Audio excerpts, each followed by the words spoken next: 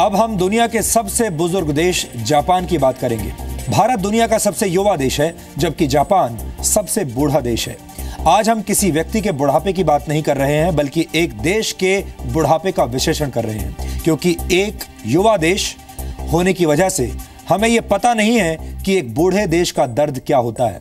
आज के हमारे विशेषण का आधार वो खबर है, जो जापान के आईची शहर से हमारे पास आई है।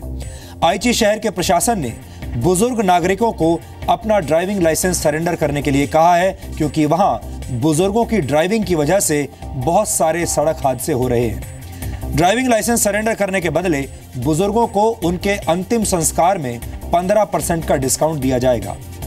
यह बहुत ही चौंकाने वाली खबर है और आप में से ज़्यादातर लोगों को यह सुनकर हैरानी हो रही होगी कि अंतिम संस्कार में भला कैसा डिस्काउंट। असल में इसकी वजह यह है कि जापान में अंतिम संस्कार करना बहुत महँगा सौदा होता है। जापान में एक फ्यूनरल पर औसतन 15 लाख जापानी येन यानी करीब 8 लाख सत्तर हज़ार रुपए खर्च होते हैं। अब इस महँगे अंतिम संस्कार की वजह भी जान लीजिए। अंतिम संस्कार में करीब दो लाख पैंतीस हज़ार रुपए केटरिंग में खर्च हो जाते हैं, जबकि करीब तीन लाख तेईस हज़ार रुपए अंतिम संस्कार संपन्न करवाने वाले बौद्ध भिक्षु को दिए जाते हैं।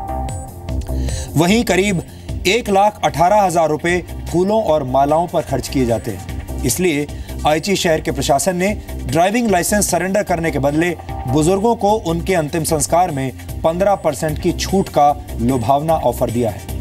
यहाँ हम आपको जापान के बुढ़ापे से जुड़े कुछ दिलचस्प आंकड़े भी बताना चाहते हैं। जापान में बुढ़ापा एक बहुत बड़ी समस्या है। जापान की कुल आबादी करीब 12 करोड़ 70 लाख है और इसमें से पैंसठ वर्ष से ज़्यादा उम्र के लोगों की संख्या तीन करोड़ इकतालीस लाख है, जो कुल जनसंख्या का करीब 27 प्रतिशत है।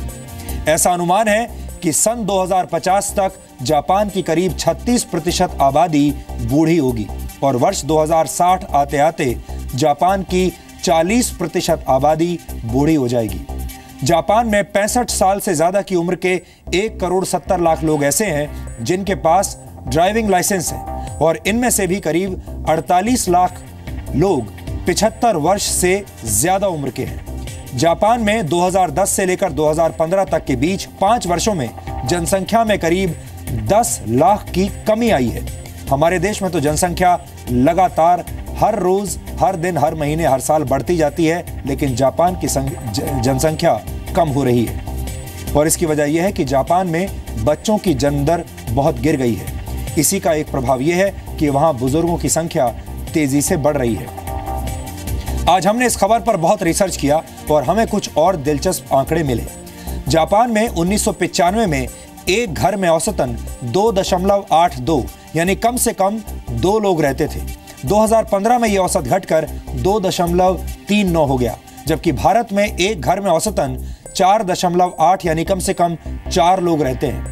इसके अलावा आपको जानकर हैरानी होगी कि जापान में करीब पाँच करोड़ बीस लाख लोग ऐसे हैं जो बिल्कुल अकेले हैं। ये पूरी जनसंख्या का साढ़े बत्तीस प्रतिशत है। जापान में पंद्रह वर्ष से ज़्यादा उम्र के बत्तीस प्रतिशत पुरुषों ने शादी ही नहीं की, जबकि जापान की तेईस प्रतिशत महिलाओं ने कभी भी शादी नहीं की। इसलिए जापान में बच्चे कम हैं और बूढ़े ज़्यादा। ये आंकड़े देखकर आपको जापान की सामाजिक संरचना के बारे में बहुत सी नई जानकारियाँ मिली होंगी, लेकिन बहुत जल्द जापान वाली ये समस्या हमारे अपने देश भारत में भी आने वाली है। भारत में फ़िलहाल सिर्फ़ साढ़े आठ प्रतिशत बुज़ुर्ग रहते हैं, लेकिन 2050 तक भारत की कुल आबादी के 19 प्रतिशत लोग बूढ़े हो जाएँगे। इसलिए भारत को भी आने वाले वक्त में इसके लिए तैयार रहना चाहिए। अब आप जापान के अकेलेपन का डीएनए टेस्ट देखिए। यह विश्लेषण आपको बहुत सारी नई जानकारियाँ देगा।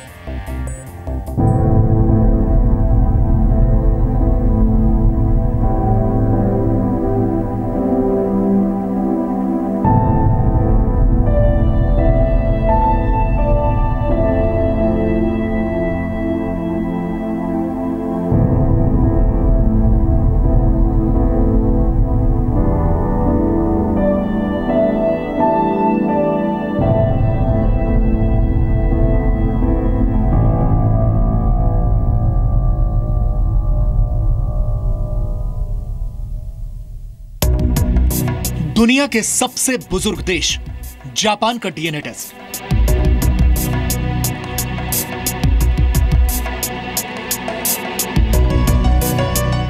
एक बूढ़े देश होने का दर्द क्या होता है?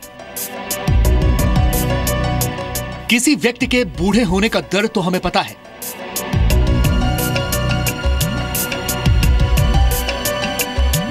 लेकिन क्या आपने कभी किसी देश के बूढ़े होने का दर्द महसूस किया है? यह जापान की वो आबादी है जो तेज़ी से बूढ़ी हो रही है। यह है जापान का आइची शहर, जिसने बूढ़ी होती इस आबादी के लिए एक अनोखा ऑफ़र निकाला है। ऑफ़र यह है कि इन बुज़ुर्गों को उनके अंतिम संस्कार में होने वाले खर्च में पंद्रह प्रतिशत का डिस्काउंट मिलेगा। लेकिन शर्त यह है कि इन बुज़ुर्गों को अपना ड्राइविंग लाइसेंस सरेंडर करना होगा।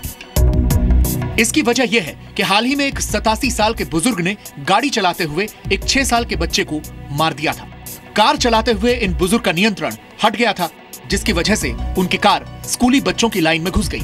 आईची शहर में वर्ष 2016 में जितने भी सड़क हादसे हुए, उनमें 13 प्रतिशत हादसों में 75 वर्ष से ज़्यादा उम्र के लोग ड्राइवर थे। कई मामलों में बुज़ुर्ग लोग कार के एक्सीलेटर और ब्रेक पैडल के बीच फ़र्क भूल गए थे।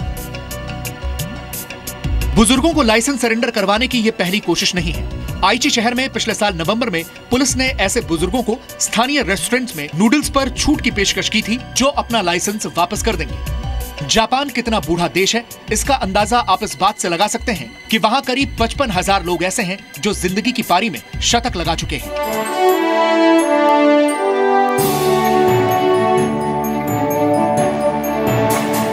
जिस देश की 32 फ़ीसदी आबादी अकेली रहती हो, उसके बुढ़ापे और अकेलेपन का इलाज क्या होगा? लेकिन अब जापान में बुज़ुर्गों के अकेलेपन का इलाज खोजा जा रहा है।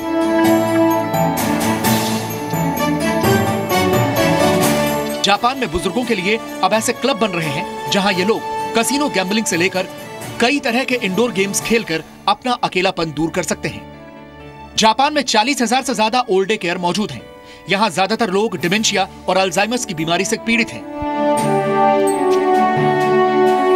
मुझे किसी से बात किए हुए कई दिन बीत जाते हैं। ये काफ़ी डिप्रेसिंग है। लेकिन यहाँ आकर मुझे बात करने और खेलने का मौका मिलता है। लेकिन जापान के बुज़ुर्ग लोगों के अकेलेपन का इलाज सिर्फ़ ये क्लब ही नहीं है। बल्कि अब जापान में बुज़ुर्गों के लिए रोबोटिक खिलौने भी बनाए जा रहे हैं। किसी छोटे से जानवर जैसा दिखने वाला असल में ये एक रोबोट है। इसका नाम है पारो। ये रोबोट डिमेंशिया से पीड़ित बुज़ुर्गों को उबारने में मदद करता है।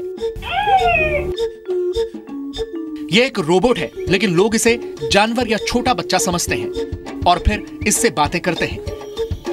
इसमें सेंसर्स लगे हुए हैं, इसलिए जब भी आप इसे छूते हैं तो ये जानवरों जैसी आवाज़ करने लगता है। इसीलिए अब जापान के कई बुज़ुर्ग इस रोबोट को अपने परिवार का हिस्सा समझने लगे हैं। लेकिन क्या ये रोबोट इन लोगों को इमोशनल सपोर्ट दे सकते हैं? क्योंकि रोबोट्स की इमेज थोड़ी नेगेटिव है। लेकिन यहाँ रोबोट्स की इस छवि को देखकर आप उन्हें नेगेटिव कभी नहीं कहेंगे। अब कार बनाने वाली एक बड़ी कंपनी भी रोबोट्स बना रही है, जिससे बुज़ुर्गों को मदद मिल सके। ये रोबोट पानी की बोतल उठाने जैसे कई कामों में मदद कर सकता है। ये एक दूसरा रोबोट है, जो बुज़ुर्गों को गाना सिखा रहा है। जापान में कई बुज़ुर्ग ऐसे हैं, जिन्होंने कई वर्षों से कोई बात ही नहीं की है। क्योंकि उनके पास बात करने के लिए कोई है ही नहीं। लेकिन अब ये रोबोट उनकी ज़िंदगी का अहम हिस्सा बन चुका है। Bureau report, Zee media.